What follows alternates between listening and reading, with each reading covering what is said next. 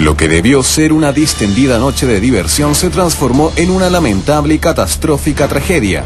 Fue la madrugada del día domingo que se registró un incendio de gran magnitud en una discoteca de la localidad de Santa María en el estado de Río Grande, Brasil. Según últimos informes dados a conocer por la Brigada Militar de la ciudad, el número de fallecidos ha ascendido a 232 y son 131 las personas heridas dejando el luto a todo un país y al mundo entero que se ha conmocionado con este desastre. Entre los fallecidos, la mayoría figuran como estudiantes universitarios de la Universidad Federal Santa María, que acoge gran parte de los jóvenes de la ciudad. Según la Policía Civil de Santa María, jamás se dio un siniestro de estas características y proporciones, alcance que también aseveró bomberos, quienes en sus 40 años de ejercicio jamás se enfrentaron a una tragedia similar.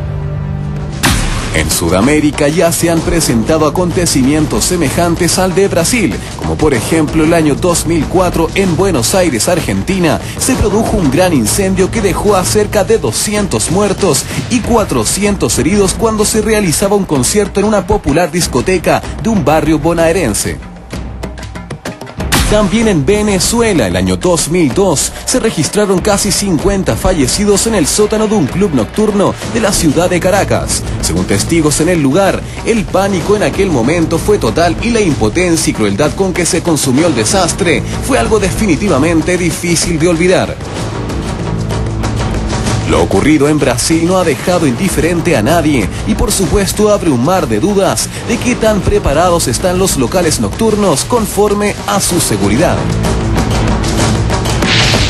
Como, como apuntaba muy bien eh, la Julia Vial, eh, mientras veíamos la nota, son 231 los muertos al menos desde la versión oficial, digamos, que ha dejado este incendio y que provocó, entre otras cosas, que la presidenta de Brasil, Dilma Rousseff, que, Rousseff, que estaba acá en Chile participando en la cumbre CELAC Unión Europea, partiera para allá, donde eh, la localidad de Río Grande do Sul, la parte más al sur de, de Brasil, y como decíamos, la discoteca estaba llena de universitarios, ¿no es verdad? En donde otra vez las medidas de seguridad son... Eh, son eh, quedan al debe porque no existían eh, puertas de escape, sino que por donde tú entrabas a la discoteca donde salía, Muchas de las personas se agolparon en las puertas de los baños creyendo que esas eran las puertas de Digamos que los guardias Muchas personas se salvaron, que cayeron, ¿no es verdad?, boca abajo y al no respirar ese humo tóxico por esas cosas de la vida se salvaron pensando en que Muchas también, lamentablemente, hay que decirlo, es murieron eh, aplastadas. Acá varias hay varias cosas, como decías tú, eh, principalmente los temas de seguridad, la solo una vía de acceso, lo que decía Yasmin y apuntaba Yasmin, que en un comienzo en esta discoteca que no contaba con permiso desde el año pasado, o sea, una discoteca que no debería estar funcionando, y que lo efectivamente, y que lo reconoció, eh, nos hace, porque tiene muchos puntos en común, recordar efectivamente lo que pasó en Cromañón el año 2004, cuando oh. murieron 194 jóvenes en un concierto de la banda Callejeros. En esa oportunidad efectivamente pasó algo similar a lo que estamos viviendo hoy día en Santa María en Brasil. Había un grupo tocando y no se sabe muy bien de dónde salió una bengala que encendió unas telas que habían en el techo y mucha gente murió producto de eh, este humo tóxico que se forma con esta esponja para caja de resonancia. Eh, otros murieron aplastados y por supuesto también gente falleció lamentablemente eh, quemada. Tiene muchos puntos en común y nos hace pensar acerca de las medidas de seguridad que tiene que tener una discoteca para funcionar, de que, no contaba con puertas para salir y en el caso de Argentina, ya fueron procesados, por ejemplo, el vocalista del grupo que, estaba tocando, que, lanzó la bengala. Es muy distinto a lo de Brasil, porque en Argentina lanzaron esta bengala, Acá ¿verdad? Tenía como un Acá en Brasil era una especie de bengala, para que usted entienda, como la antorcha de la llama de la libertad, digamos. Sí, que estaba permanentemente funcionando. Mantuvo eso, y eso fue lo que provocó que se que se quemara justamente parte del escenario que como decía la Julia, lamentablemente es muy inflamable ese tipo de material muy típico en este tipo de lugares. Yo en este momento estoy leyendo lo, que estaba apareciendo, la información en línea del diario, uno de los diarios principales de Brasil, que es O Globo, y que cuentan que ya hay tres presos por el incendio en esta boat, que fueron detenidos dos integrantes de la banda eh, Gurizada Farangueira, que era la que estaba tocando, y uno de los socios de este centro nocturno en Santa María, y confirman que son 231 personas. Que es una de las preguntas que uno se puede hacer ¿por qué dentro de un recinto privado donde hay 2.000 personas puedes tú manipular fuego artificial, bengalas, fumar? Porque en un espacio cerrado. ¿Cómo en un recinto privado y una sola salida y una sola entrada? y, además, como los guardias el criterio de los guardias que ve que esta horda de gente quiere salir, los retiene porque tienen miedo de que salgan sin pagar que o que haya una en Brasil las discotecas funcionan de una manera completamente distinta. En Brasil, cuando tú entras, te dan una tarjeta. Y con esa tarjeta tú compras durante toda la noche y al salir tú vas a la caja, pagas. con esa tarjeta y te dan una boleta. Acá en Chile, acá en Chile tienes que pagar antes claro. que te pasen un ¿Y por qué los guardias lo primero que hacen es reaccionar tratando de contener a la gente y de que no salgan, precisamente porque no entendían que había un incendio? Es una discoteca que tiene mucho recoveco. Probablemente los guardias nunca supieron que había un incendio y que eh, estaba eh, este accidente trágico. Y estaba a su máxima capacidad, Julia, porque se habla que habían entre 600 y 1000 personas. Esta discoteca Gigante. supone que debiera albergar a mil personas. Ahora, hay varias preguntas que vamos a hablar con un experto en seguridad que va a integrarse en minutos con nosotros y que dice relación con qué pasa con estas discotecas en Chile. ¿Cuáles son las medidas de seguridad mínimas que deben contar este tipo de lugares? ¿Se cumple con este tipo de medidas eh, de seguridad? Los papás que por estos días están de vacaciones y que sus hijos están de vacaciones en otras partes donde están sus papás, ¿saben los niños y los jóvenes se preocupan de cuando ingresan a una, una discoteca en la playa, por ejemplo, de saber dónde están las puertas que son, que son generalmente tienen una estructura muy improvisada la discoteca en la playa además. son galpones. Si usted me permite, yo que en mi época cuando hacía teleserie y iba harto a región y sobre todo a hacer, qué sé yo, eventos, discotequeros, gran parte de las discotecas en definitiva están eh, en estas mismas condiciones como la que vive eh, hoy día la tragedia en Brasil. De hecho, sin ir más lejos, una vez a, a nosotros nos pasó con otro actor llamado, con Cristiana Regada, estábamos en Concepción y fuimos a un local que albergaba más allá de mil personas. Y efectivamente el lugar estaba completamente lleno a, beneficio nuestro eh, y cuando nosotros quisimos salir nos demoramos más de una hora y media en poder salir porque en definitiva había solo, como dice, como la misma, eh, la, misma situación que pasa acá, una sola entrada, una sola salida. Y la gente por, por el fervor, por el hecho de que nosotros estábamos ahí, que quería sacarse foto con nosotros, no nos impedía el paso, entonces si hubiese pasado cualquier cosa, efectivamente cualquier acción desmedida se, se, transforma en tragedia y es así de, así de sencillo. Lamentablemente a lo mejor hay dueños de discotecas que pueden estar mirando y diciendo, no, pero es que la cuestión no es tan así, viejo, y esto que el otro, pero lamentablemente es así.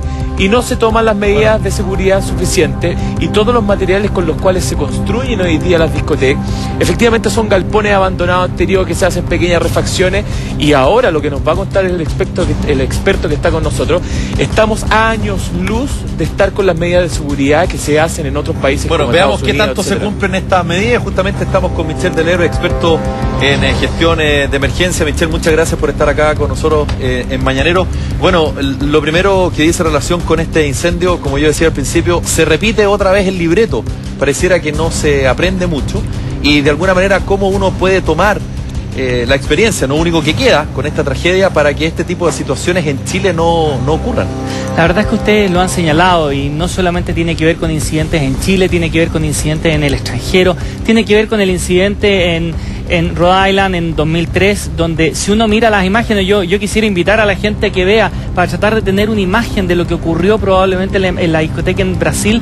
En YouTube uno encuentra Rhode Island, encuentra el video, porque en esa, en esa, en esa discoteca había gente que estaba filmando al interior. Fue el 2003. El 2013, y por lo tanto se ve y uno puede proyectar lo que probablemente ocurrió y que estamos hablando efectivamente eh, un incendio que se inicia cerca del escenario, donde la gente empieza a caminar, donde no toda la gente se entera, por lo que tú señalas claramente respecto de, por ejemplo, las medidas. Eh, estamos hablando de, por ejemplo, detectores de humo que tengan una señal visible y audible, porque aquellos que están cerca del escenario, donde hay una mayor congestión y concentración de personas, no se escucha no se escucha y los que están más atrás tampoco ven. Ahí estamos recordando las imágenes de lo que pasó en Rhode Island, eh, Michelle, el año 2003. 100 muertos. Michelle, disculpa, pero yo tengo entendido que la norma acá en Chile es de 1946 me imagino que debe ser bastante básica como para que se regule el tema de las salidas, eh, el, material de construcción. Los rociadores. Claro, ¿qué pasa con eso en Chile? Mira, hay una, hay una modificación que se hace en el año 2010, pero la verdad es que yo coincido con usted en términos que es totalmente insuficiente. Por ejemplo, con el tema de los rociadores, con el tema de los detectores de humo. Los rociadores, ¿por qué son tan importantes?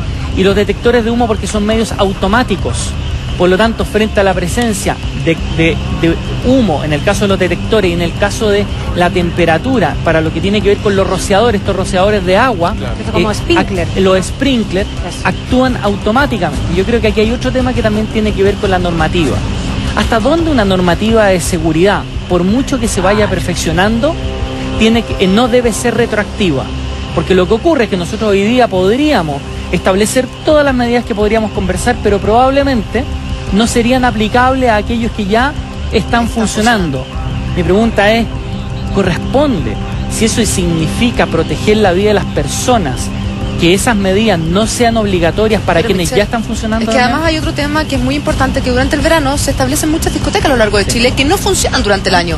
Entonces los empresarios, la gente que pone una discoteca en el litoral central, en el norte o en el sur, no quiere hacer una gran inversión porque si no, no es rentable. Entonces arrienda este local, eh, pone un par de guardias, se preocupa más de los barman, del show y punto. No está preocupado de la seguridad. Y a partir de eso, o sea, como tienen, digamos, dos, máximo tres meses de juntar todo el dinero que puedan por esta inversión veraniega. Y lo único que interesa es meter y meter Exacto, meten más allá de los que caben. Y por otra parte, entendamos que esto es pareciera una fórmula para la tragedia, porque todas las personas que están adentro, un gran porcentaje, y esa es la idea, van a estar pasados de copa, no van a estar con un nivel de reacción y lucidez como lo que muchos quisieran en un estado de emergencia. Entonces, digamos, me pareciera como digo, es fórmula para, la tragedia, entonces se junta todo. Uno tampoco sabe cómo reaccionar. Mucha gente que falleció se fue a los baños pensando que en los baños, por las baldosas, podía escapar precisamente del incendio, porque había agua, Pero finalmente lo que los, que los hizo fallecer fue el humo tóxico de estas esponjas acústicas que, como tú decías hoy en la mañana, son muy inflamables y que no cuentan con eh, un proceso, un tratamiento químico para y uno de los efectos que buscan las discotecas también es sentir la sensación de calor para que tu consumo también... Exacto, para que el consumo a nivel de barra sea aún mayor. Michelle, pero ¿hay capacidad de fiscalización de que se vaya a chequear estas discotecas y todo eso? La verdad es que si uno lo piensa, de que la fiscalización más importante está centrada en la autoridad sanitaria, estamos hablando de la serenía, estamos hablando del nivel regional, por lo tanto, no hay fiscalizadores suficientes. No hay fiscalizadores. Y probablemente uno, uno lo ve incluso en las fiestas como de, em, que tienen que ver con alto consumo de alimentos, Semana Santa, por ejemplo, donde incluso los fiscalizadores no dan porque están exclusivamente concentrados en el tema eh, alimentario. Michelle, ¿podría eventualmente ocurrir una tragedia de estas proporciones en Chile fácilmente? Sí, claro, sobre todo lo que tú, Salfate señalaba respecto de eh, esta gran cantidad de actividades que se generan. Hoy día el mercado de lo que son los eventos, es tremendamente emergente y tremendamente lucrativo.